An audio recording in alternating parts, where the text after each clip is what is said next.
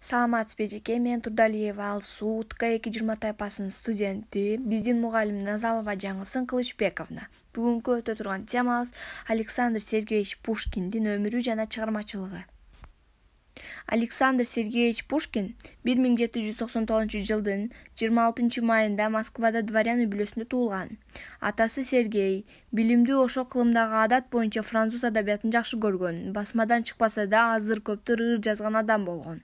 бир миң сегиз жүз он биринчи жылы пушкин царское селосунда лицейге кирет лицейде окуп жүргөн жылдары эле анын поэзияга ашыктуу экени байкалып адабий ийримдердин иштерине кол жазма журналдарына үзгүлтүксүз катышып орус классиктерин жана батыш европалык поэзиянын үлгүлөрүн үйрөнүү менен ал адабияттын баардык жанрында өз күчүн сынай баштаган француз тили боюнча жетишээрлик билим алгандыктан лицейде жүрүп бир миң сегиз жүз он төртүнчү жылдан баштап орусча жаза баштаган бир миң сегиз жүз он жетинчи жылы лицейди бүткөндөн кийин ал петербургка тышкы иштер коллегиясында кызматкер болуп орношот.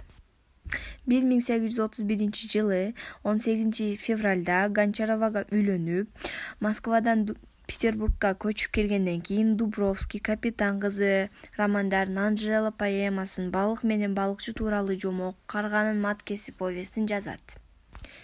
Пушкиндин чыгармасынан үзүндү.